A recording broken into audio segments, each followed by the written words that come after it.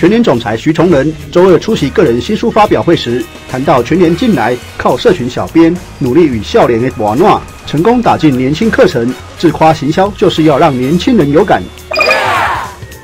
我们要照顾员工，让员工能够有发展的空间。但话锋一变，徐总裁竟然开始指责现在台湾年轻人很会花钱，机场一看都是年轻人出国，老一辈的很少。还劝年轻人要忍耐，不计较低薪。新闻刊出后，网友瞬间涌入，留言灌爆全年脸书粉丝页。小气出身的就是小气，低薪是冠老板造成的吧？还有网友说，你们老板叫大家不要花钱，全年不再去了，拒买全年货。大老板发言引起轩然大波，全年的小编被呛到无言，不敢回应，还一式三文数十则，哈哈，可怜的全年小编。最重要就是怎么样也让员工们能够开心。报告总裁，小编不开心了。等新闻综合报道。